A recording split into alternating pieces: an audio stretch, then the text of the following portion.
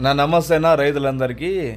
ఈ మద్దినాయనపల్లి పంచాయతీలో మామూలుగా ఈ పవర్ ఆఫీస్ దగ్గర రైడ్ తీసుకొని లోపలికి పోతే తోటలు బాగున్నాయి నా వాళ్ళకు విపరీతమైన ఎండ. ఆ పొద్దు నేను తోట విజిట్ చేసినప్పుడు నలభై రెండు డిగ్రీలు చూపించింది ఆ ఏరియా. ఎందుకంటే చుట్టూ గుట్లు ఉన్నాయి గుట్లకు కగ్గిపెట్టినారు మొత్తం అంతా కాలిపోయినాయి. మొత్తం వేడి సెగ. అయినా కూడా ఆ ఏరియాలో తోటలు బాగున్నాయినా. ఇప్పుడు ఈ తోట వీడియో తీసేటప్పుడు పక్కన వేరే పనిచేసే ఆడవాళ్ళు వచ్చేసి సినిమా పాటలు పెట్టుకున్నారు. వీళ్ళతో ఇంటర్వ్యూ బాగుంది. ఆ సినిమా పాటలు అనేవి యూట్యూబ్లో ప్లే అయినాయనుకో ఎక్కడోక్కడ ఎక్కడో ఒక్కడ కొద్దిగా మ్యూజిక్ కనపడినా కూడా యూట్యూబ్ వాడు క్లెయిమ్ వేస్తాడు ఇంక వాళ్ళని పాటలు ఆఫ్ చేయమని చెప్పలేకపోయినా అన్న వాళ్ళు హుషారుగా పని చేసుకుంటా అంటే అందుకని చెప్పేసి ఆయన రైతు లేడు. రైతు భార్య ఉన్నింది ఆమెతో మాట్లాడిన తర్వాత మనకి ఇచ్చిన ఇన్ఫర్మేషన్ వచ్చేసి పన్నెండు వేల మొక్కన మూడో పుర్రి డెబ్బై రోజుల పంట ఖచ్చితంగా నాలుగో పురుగు కూడా పడుతుందంట.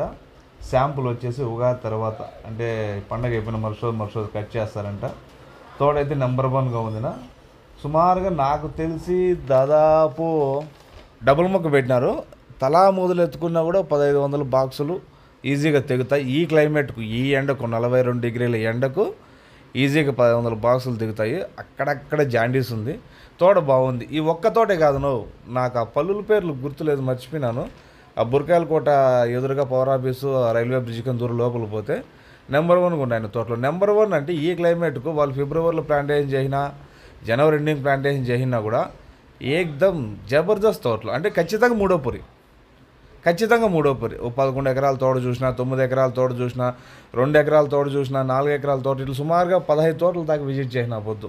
చాలా వీడియోలు ఉన్నాయి ఇంకా అప్డేట్ చేయాలా ఎడిటింగ్లు చేయాలా. తోటలు అయితే బాగున్నాయినా నలభై రెండు డిగ్రీలు ఎండకు తోటలు ఇంత మాత్రం ఉండడం గొప్పేనా? నిజంగా గొప్ప. ఆ పక్కన గుట్టలకైతే ఆ గుట్టల సెగకైతే కానీ అసలు అల్లాడిపోయినా పొద్దు నేను. అంత నరకం ఎండలు. కానీ తోటలు చూస్తే బ్రహ్మాండంగా ఉన్నాయి. ఇప్పుడు మూడో పుర్రి డెబ్బై రోజులకి.